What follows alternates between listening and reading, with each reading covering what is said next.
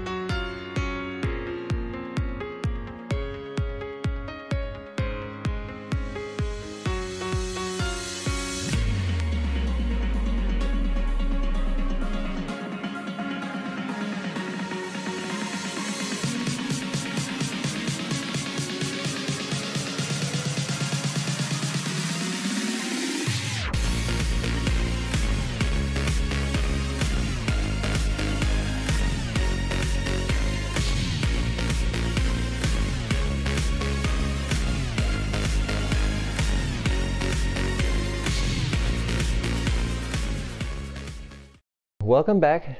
I hope you guys like that. I realized there were a couple problems in there, but it was our first try, and it was okay. They'll only get better from here, right? So, let's talk about the tower a little bit. I told you I really liked the gray and the black glass down here on the bottom. I think it's going to look just awesome. But up at the top, I did kind of the same thing, and I'm not a fan of it think I'm gonna go with like a solid color. I've tried red and I did not like it. So I'm thinking black or gray. And then we have these two big windows to work on. I think we're gonna put a design in here. I'm not sure what. Probably some red in the middle with black and gray surrounding it. That'll look pretty good. So you guys saw the footage. Let's go up and let's take an inside look at the tower.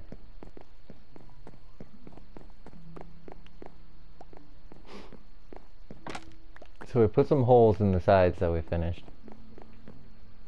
I think they look pretty good. I'm trying to stay away from actually destroying the terracotta. We are going to destroy this terracotta by putting our spire over here. And like I said, this tower still going up another two sections.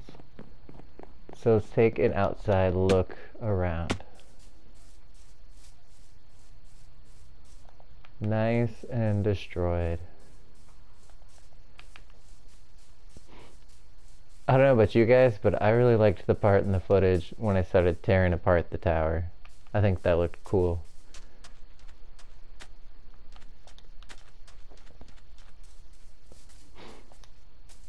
Let's give you the full look all the way around. And so our spire's been going out over this beach ocean right up here. And I'm really excited to start building that. I've never done one before, so it's going to be a whole new experience. And maybe I'll put that one on a time lapse for you guys too. Maybe I'll build it in secret. I'm not sure yet. But there's a lot of things coming forward to the channel, and I hope to see you guys again sometime. Have a great day.